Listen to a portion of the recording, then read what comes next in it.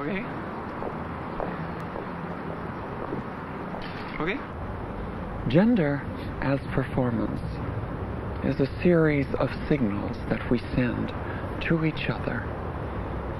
These performances involve personal space or psychological distance, which is the area around you which you tend to include in that which belongs to you. For women, this is smaller than it is for men. Voice tone for the feminine, the rising inflection for the masculine, the falling inflection. Clothing is optional.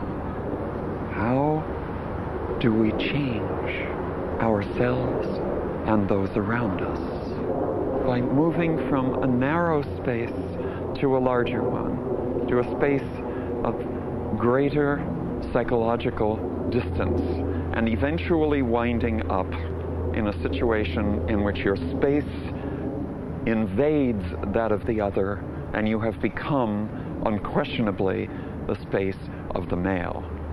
That is what we are looking for. That is what you must learn to do.